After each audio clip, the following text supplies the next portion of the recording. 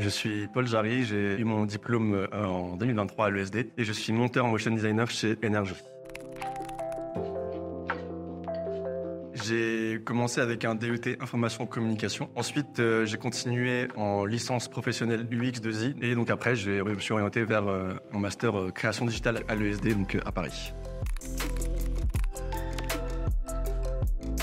Alors euh, mon rôle euh, chez Energy, ça va être principalement déjà de commencer euh, avec du montage vidéo. Vu que je suis aux réseaux sociaux, en fait, l'enjeu principal, ça va vraiment être que les gens regardent les vidéos et restent dedans jusqu'à la fin. Donc on va faire des formats assez courts mais dynamiques. Et donc d'apporter aussi une petite touche créative avec le motion, donc qui va emporter un univers un peu différenciant de d'autres contenus qu'on peut voir sur Instagram par exemple. Et en plus de ça aussi, je vais capter des interviews avec des, des gens, des gens connus dans la musique, dans les studios de Energy.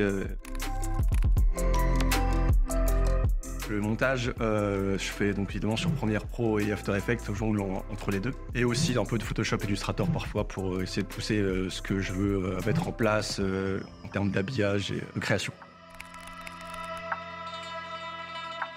J'ai entendu des bons retours déjà sur l'école euh, avant de faire mon choix. Euh, j'ai trouvé parmi toutes les JPO que j'ai pu faire de plusieurs écoles, c'était celle qui était la plus dynamique et la plus intéressante parce qu'il y avait pas mal d'étudiants qui, témoignaient. euh, et puis après, du coup, j'ai pu échanger aussi avec eux sur LinkedIn ou des réseaux sociaux et c'était vraiment des, gens qui croyaient en ce qu'ils disaient. Et donc, ça m'a vraiment poussé à, à aller vers l'ESD et j'ai pas regretté du tout.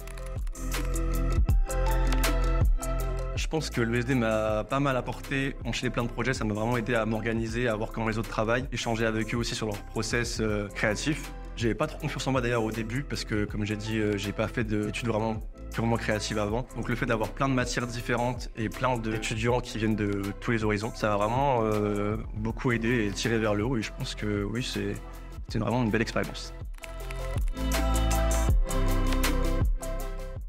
Pense que le projet qui m'a le plus marqué, c'était euh, pour Canal+. Je crois que c'était le hackathon. Et donc on devait créer euh, un catalogue 3D immersif et penser un peu la plateforme de demain. Donc on était vraiment une grosse équipe, on était principalement des créas et on a un super chef de projet et en plus on savait quoi faire les uns avec les autres. Donc le rendu était hyper cool. On avait fait euh, un catalogue sur Unreal Engine. Moi je m'étais occupé du menu principal et d'autres personnes s'occupaient euh, de l'immersion euh, dans le catalogue, des assets 3D, tout, plein de choses et c'était vraiment euh, super cool l'ambiance.